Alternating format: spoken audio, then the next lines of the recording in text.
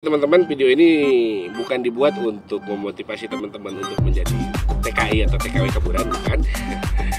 Tapi eh, saya mencoba untuk eh, menggait atau memberikan arahan buat teman-teman yang masih bingung cara pulang ya.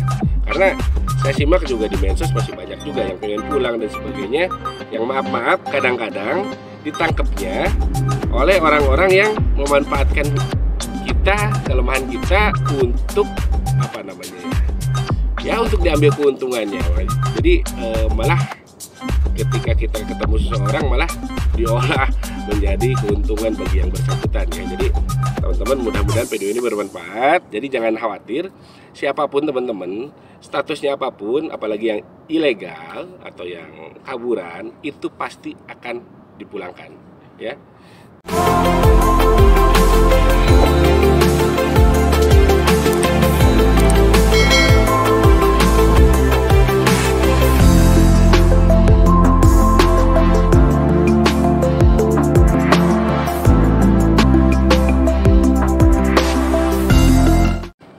Assalamualaikum warahmatullahi wabarakatuh. Bertemu lagi dengan saya di Akhir Explore Channel. Terima kasih buat teman-teman semua yang masih selalu setia dengan channel-channel saya Nungguin video-video terbaru dari saya.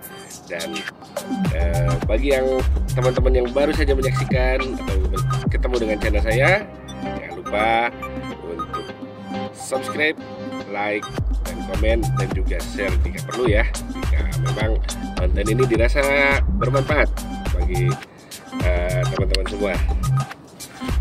Oke, kali ini saya mau coba untuk berbagi informasi atau sharing mengenai cara pulang uh, untuk TKI atau TKW ilegal ataupun kaburan, oke. Jadi uh, jadi ceritanya mungkin kurang dari sebulan yang lalu ada uh, adiknya teman saya salah satu adiknya teman saya yang uh, tapi bukan di Saudi tapi di negara tetangga di Dubai ya. Uh, dia bukan kabur tapi ceritanya sih menurut versinya jadi dia awalnya mau pulang ya mau pulang cerita kemajikannya ya sudah dibebaskan lah intinya gitu kan. Kalau di sini mungkin di Balakurup ya, ya kemudian dia akan kemas barang pulang tapi tidak pulang melainkan malah balik arah mencari pekerjaan yang lain ya nah di situ e, otomatis yang terjadi adalah e, ketika kita mengurangkan niat untuk pulang dan mencari pekerjaan baru maka status kita saat itu menjadi TKI atau TKW kaburan ya atau ilegal. Kenapa saya bilang ilegal? Ya, karena eh, dia tidak dilengkapi dengan dokumen dari negara tempat dia tinggal. Jadi dia bilang saya eh, masih pegang paspor betul. Jadi paspor itu buat teman-teman ya pahami, paspor itu bukan dokumentasi dari sini, tapi dokumentasi dari negara asal kita. Jadi artinya paspor itu ya tidak bisa mencerminkan bahwa teman-teman punya izin tinggal di negara tersebut ya. Untuk memasuki eh, negara tujuan itu diperlukan visa. Jadi visa itu adalah izin untuk memasuki suatu negara. Jadi teman-teman sudah diizinkan dari negara tersebut sebagai apa gitu kan? Kalau teman-teman mau bekerja, ya berarti visanya sebagai visa kerja. Kalau mau belajar, ya ataupun untuk wisata itu beda lagi ya. Jadi sesuai dengan peruntukannya. Jadi begini teman-teman, uh, pada prinsipnya mau itu legal, ilegal ataupun kaburan lah misalkan ya, istilahnya, uh, apakah kita bisa pulang? Tentu saja kita semua bisa pulang, ya. Ibaratnya begini, kita ilegal atau kaburan itu bekerja di sebuah negara, di satu negara asing, tanpa kita dilengkapi dokumen, pada prinsipnya bagi negara tersebut kita dianggap benalu, parasit ya. Kenapa saya bilang begitu? Karena teman-teman bekerja di sebuah negara, di suatu negara asing, ya, tanpa kelengkapan dokumen, ya, dan teman-teman mengambil gaji uang lalu dibawa keluar itu tentu merupakan sebuah kerugian bagi negara tersebut sebetulnya ya. Walaupun mungkin masyarakatnya butuh gitu kan. Penduduk sininya butuh mau legal mau ilegal tetap dipekerjakan. Karena dia butuh tenaga kita. Tapi bagi negara itu konsepnya lain. Jadi buat negara yang mempekerjakan teman-teman di sini itu sebuah kerugian bagi negara tersebut. Itu pada prinsipnya ya harus dipahami. Jadi ketika teman-teman di sini legal tentu bisa pulang. Karena kalaupun tertangkap pasti dipulangkan. Yang berbeda adalah prosesnya. Berapa lama teman-teman bisa di sini? Kembali ke cerita uh, adiknya teman saya kemarin. Jadi uh, uh, ini berbagi pengalaman saja. Jadi dia minta tolong kepada saya. Sebetulnya ini udah sudah berbeda negara ya. Jadi saya hanya membantu aja kemarin menggait teman saya, adanya teman saya bagaimana dia bisa pulang dengan selamat intinya. Jadi eh, kasusnya saya bilang tadi dia balik lagi, jadi nggak mengurungkan niatnya, dia mencari pekerjaan lain di luar dan ternyata eh, pekerjaannya tidak menyenangkan lah katakan begitu. Akhirnya dia nggak betah dan ingin pulang, sementara dia hanya pegang paspor gitu ya. Sementara yang saya bilang tadi posisinya dia juga sekarang sudah menjadi eh, TKI ilegal atau kaburan. Ya. Nah, itu masalahnya.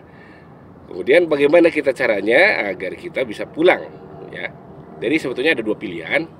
Jadi kronologinya jadi setelah eh, mau pulang itu juga sebetulnya dia sudah berusaha sendiri ya katanya sih sama teman saya kakaknya yang di Indonesia sudah dikirim duit uang ke sini untuk biaya pemrosesan Cuma terja uh, yang terjadi dia percayakan kepada seseorang katakanlah aja uh, orang itu yang katanya biasa ngurus orang-orang kaburan untuk proses pemulangan, tetapi uh, ternyata uh, orangnya tidak amanah alias malah uangnya dibawa kabur.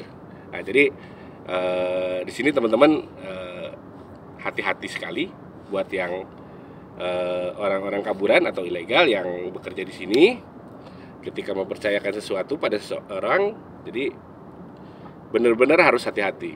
Karena salah langkah saja kita malah kehilangan duit banyak ya gitu.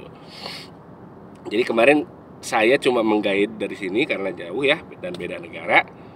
E, karena dia sudah kehilangan uang banyak ya saya arahkan untuk e, apa namanya menyerahkan diri lah ibaratnya ke Tarhil Tarhil itu ibaratnya kalau di Indonesia bahasanya istilahnya penjara imigrasi ya. Jadi sambil menunggu proses pemulangan eh, ya harus masuk penampungan dulu. Ibaratnya penjara lah ya. Jadi eh, memang dia bilang sih cerita ya tidak mengenakan selama menunggu kurang lebih dia dua minggu di sana. Eh, Alhamdulillah sekarang sudah eh, pulang dengan selamat ke Indonesia kemarin ada sedikit cerita-cerita lah pengalamannya kan selama di dalam penampungan ya mandi harus berebut makan harus berebut juga dengan bangsa lain gitu kan karena cuma bukan hanya orang Indonesia saja di sana dari bangsa lain juga ada yang kedapatan entah itu overstay atau memang dia dengan sengaja mencari uh, pekerjaan secara ilegal. Nah, jadi buat teman-teman yang uh, merasa mungkin di sini statusnya kaburan atau ilegal yang mau pulang tetapi tidak punya uang ya. Tidak punya bukan tidak punya uang lah yang namanya TKI kaburan biasanya sih justru pendapatannya lebih besar ya karena e, sebagian besar e, mereka mau membayar kita lebih mahal daripada yang legal ya, karena dia tidak mengurus apa pun dari kita ya. Makanya dia bisa, e, bisa atau mau bayar lebih ya. Nah E, tapi intinya kalau misalkan mau pulang secara gratis itu bisa lewat tarhil ya. Cuma tadi lewat tarhil itu teman-teman masuk penampungan itu berbeda-beda. Ada yang sebentar, ada yang lama. Nah, kayak temen, adanya teman saya kemarin cuma dua minggu, lalu dia diterbangkan pulang. Kemudian ada juga katanya yang sudah dua bulan dan sebagainya. Mungkin ada yang lebih ya. Itu tergantung dari eh, pemrosesan kita dan juga kelengkapan dokumen kita. Kalau misalkan kemarin masih ada paspor yang hidup, paspornya itu masih mending, mungkin akan eh, lebih cepat ya. Tapi kalau kita benar-benar kosong, tidak punya dokumen sama sekali, mungkin ini akan lama. Itu yang pertama. Yang kedua, teman-teman juga akan dicetak atau direkod sidik jari. Begitu sidik jari keluar, nanti rekamannya teman-teman itu akan keluar. Jadi kalau teman-teman di situ statusnya di Balak Surto, berarti teman-teman punya dianggap punya catatan kriminal di sini. Ataupun mungkin ada eh, kerugian dari majikan teman-teman yang sebelumnya itu harus diselesaikan dulu ya. Entah itu harus bayar denda atau apa pun lah. E, itu yang akan membuat proses kita akan lama ya. Tapi kalau teman-teman bersih tidak pernah ada catatan kriminal tidak merugikan majikan sebelumnya dan teman-teman sudah dibalak huruf biasanya itu akan cepat prosesnya. Gitu. Lewat tarhir dan teman-teman bisa pulang ke Indonesia dengan gratis ya. Sampai dengan eh, Bandara Soekarno Hatta tentunya. Nah, yang kedua itu teman-teman bisa eh, pulang ke Indonesia dengan biaya sendiri atau exit mandiri ya. Itu biasanya teman-teman harus mengeluarkan uang minimal untuk biaya pemrosesan dan eh, tiket pesawat tentunya. Jadi Uh, sebetulnya sama nih dengan tarhil prosesnya cuma yang membedakan kalau di lewat tarhil teman-teman masuk penampungan sambil nunggu diurus-urus ya uh, persyaratannya tapi kalau dengan yang exit mandiri teman-teman pemrosesannya bukan lewat tarhil tapi lewat KBRI atau KJRI ya yang terdekat tentunya jadi lewat sana nanti bisa di apa namanya komunikasi dengan pihak KBRI ataupun maupun KJRI nanti teman-teman bisa e, dibantu di sana. Jadi selama pemrosesan teman-teman bisa tinggal pulang lagi ke rumahnya masing-masing sambil nunggu panggilan ya. Nanti biasanya panggilan pertama itu untuk sidik jari yang sama seperti tadi. Ketika sidik jari itu di e, lakukan maka catatan teman-teman selama ada di negara tersebut itu akan keluar ya kalau bersih teman-teman bisa cepat pulang kalau ada catatan-catatan ya teman-teman harus selesaikan dulu ya jadi eh, selama pemrosesan ini kalau yang mau exit mandiri teman-teman bisa santai di rumah eh, sambil nanti eh, diuruskan untuk kalau yang punya paspor tentunya eh, tinggal nunggu bisa exit ya atau yang kalau paspornya mati ataupun hilang mungkin dibuatkan SPLP jadi SPLP itu sebagai pengganti paspor uh, su atau panjangannya apa ya? Surat perjalanan uh, setingkat paspor. Ya. Jadi uh, itu berlakunya biasanya satu tahun dan hanya diberlakukan untuk satu tahun eh, dan hanya diberlakukan untuk satu kali perjalanan. Jadi SPLP itu diterbitkan untuk sekali perjalanan dari negara sini menuju ke pulangan. Tidak bisa digunakan lagi untuk kepentingan yang lain. SPLP itu nanti eh, bekal teman-teman untuk juga eh, nanti diproses untuk diterbitkan visa exit ya.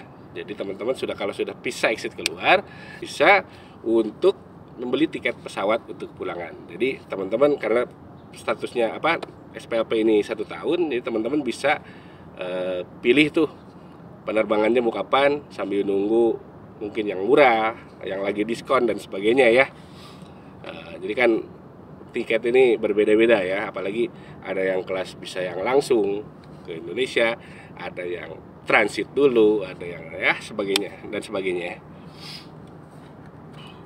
Jadi seperti itu teman-teman e, proses pemulangannya. Jadi pada prinsipnya jangan khawatir e, setiap warga negara asing intinya pasti akan dipulangkan. Yang berbeda adalah prosesnya dan juga tentunya e, bergantung dengan e, catatan teman-teman selama ada di negara tempat kita mencari nafkah ya.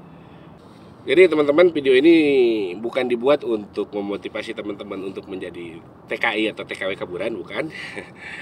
Tapi eh, saya mencoba untuk eh, menggait atau memberikan arahan buat teman-teman yang masih bingung cara pulang ya karena saya simak juga di medsos masih banyak juga yang pengen pulang dan sebagainya yang maaf maaf kadang-kadang ditangkapnya oleh orang-orang yang memanfaatkan kita kelemahan kita untuk apa namanya ya ya untuk diambil keuntungannya. Jadi eh, malah ketika kita ketemu seseorang malah diolah menjadi keuntungan bagi yang bersangkutan ya. Jadi teman-teman mudah-mudahan video ini bermanfaat. Jadi jangan khawatir siapa pun teman-teman statusnya apa pun apalagi yang ilegal atau yang kaburan itu pasti akan dipulangkan ya. Jadi eh, seperti itu tidak mungkin teman-teman di sini dicomot di penjara seumur hidup di sini sampai ya amit-amit lah ya sampai nggak ada umur itu nggak mungkin. Jadi pada prinsipnya yang saya tadi bilang semua pekerja ilegal di negara mana pun, bukan di sini saja ya, itu akan dianggap parasit bagi negara tersebut, ya, karena e, uang yang teman-teman ambil itu kan dibawa atau ditransfer ke negara kita ya, jadi tanpa kontrol intinya. Jadi uang itu dianggap uang hilang bagi negara. Nah, jadi e, pasti teman-teman akan dipulangkan. Yang ter, yang berbeda adalah di tadi prosesnya Nah, mudah-mudahan video ini bermanfaat dan juga teman-teman yang masih ragu itu tidak lagi ragu dan khawatir, apalagi kalau teman-teman punya uang untuk bekal untuk exit mandiri, silahkan datang ke KBRI atau KJRI terdekat di kota Anda. Insya Allah pasti dilayani, pasti dilayani. Tapi memang ya catatannya ada yang sana kemari bilangnya, wah kalau nggak ada uang itu nggak mungkin dilayani katanya sama KBRI. Betul, Ya, tapi uang itu adalah uang untuk proses pemulangannya teman-teman ya. Sekali lagi, uang itu adalah untuk proses pemulangannya teman-teman ya. Jadi pada prinsipnya KBRI ataupun KJRI itu tidak bisa memulangkan teman-teman, tapi mereka akan membantu proses karena e, untuk pulang itu sendiri, untuk beli tiket saja teman-teman harus punya dokumen sini. Apa dokumen dari sini itu? Yang pertama tadi bisa berupa bisa.